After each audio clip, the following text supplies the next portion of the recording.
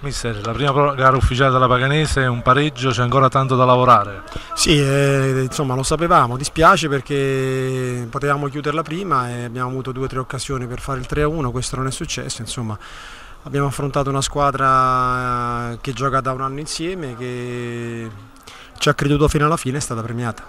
Cosa è mancato nel secondo tempo? Abbiamo visto la Paganese in un primo tempo eh, molto spigliata in avanti, in secondo tempo è calato molto di fisicità? Sì, eh, voglio dire, siamo ancora in preparazione, stiamo lavorando ancora con le distanze lunghe, il caldo era notevole quindi insomma ci siamo, ci siamo anche un pochettino accontentati e pensavamo di poter portare a casa la vittoria, così non è stato, insomma, potevamo chiuderla, dovevamo chiuderla, le occasioni ci sono state, anche importanti e la strada è lunga, insomma, lo sappiamo e andiamo avanti.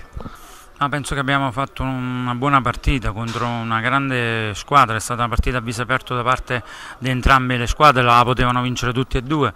Io sono contento delle, dei miei ragazzi per quello che hanno fatto al di là del risultato.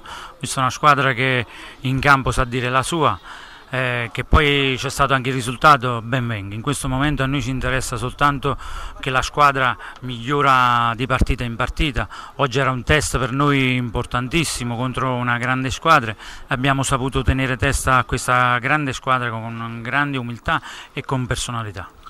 Lasciando stare a parte la Coppa Italia, cosa si aspetta dal campionato per questa arzanese? Ma noi mh, partita per partita cercheremo di fare il massimo, senza, senza assilli, senza niente, soprattutto andando in campo e soprattutto portando il, la nostra mentalità uh, di gioco e di far emergere qualche giovane importante perché siamo una squadra giovane con qualche esperto importante, ma sicuramente andremo su ogni campo a dire la nostra, al di là di qualsiasi risultato.